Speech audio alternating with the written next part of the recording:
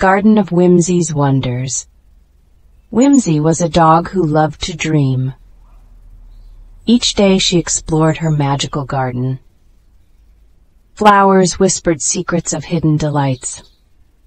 One sunny morning, Whimsy saw something unusual. A rainbow touched the garden near the old willow. It shimmered, leading to a patch of unfamiliar blooms. Whimsy approached and sniffed the air. Fragrance like honey filled her senses. She felt a surge of joy and hope. Among the blooms, a tiny sprout shivered.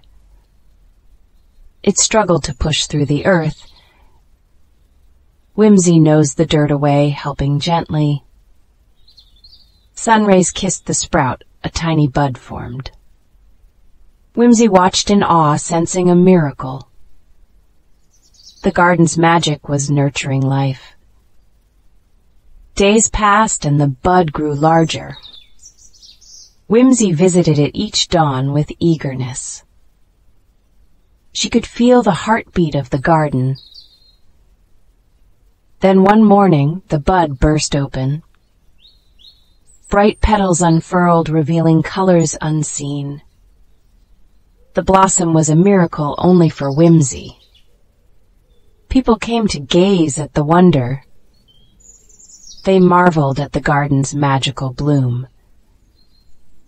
Whimsy's tail wagged with unstoppable joy. The flower brought happiness to all who saw it. Whimsy realized her love had sparked this magic. Miracles grew where kindness and care lived.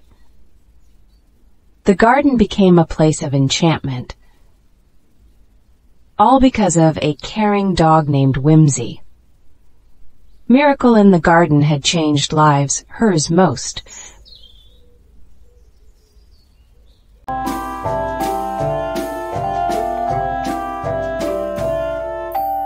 Download now and explore new stories every day.